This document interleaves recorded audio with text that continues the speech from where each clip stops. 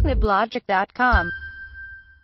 Hi guys, Nick here from techniblogic.com and today I'm gonna show you that uh, what we need to do if uh, you have agreed upon the agreement from uh, WhatsApp regarding which your all information will be shared on Facebook to improve the advertisement. So before the video gets started, please to subscribe to my YouTube channel by clicking on the red icon down below. It will definitely going to help my YouTube channel to grow. As you can see, this is the notice uh, which we see in frequently asked questions in WhatsApp uh, website where they are just clearly showing if you accept the agreement, your all information will be shared to the Facebook for improvement. Like I just go into the WhatsApp, uh, go into settings and accounts.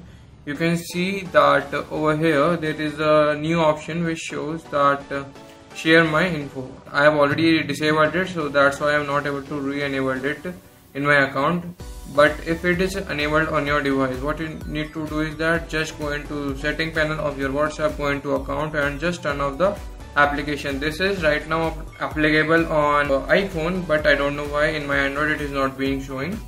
So this is a good thing that you can turn it off. If you don't want to share any of the info online like uh, this is the whatsapp frequently asked question. The option to, to turn off the share info is go into setting account and share my info just turn it off. And all the companies and all the details won't be shared on Facebook so that uh, the advertisements and the different things will be better for Facebook. So uh, I will show you my Android device as well which is not showing this uh, info. I don't know why but one of my friend is uh, saying that he's getting that message like go into setting panel go into accounts and as you can see there is no info for that. But in my friends Redmi Note 3 it is showing. So you can turn it off very easily.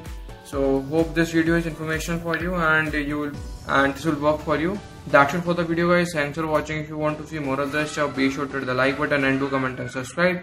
You can also follow me on twitter and make sure to check out my other youtube videos. So see you guys in my next video. Till then see you and keep rocking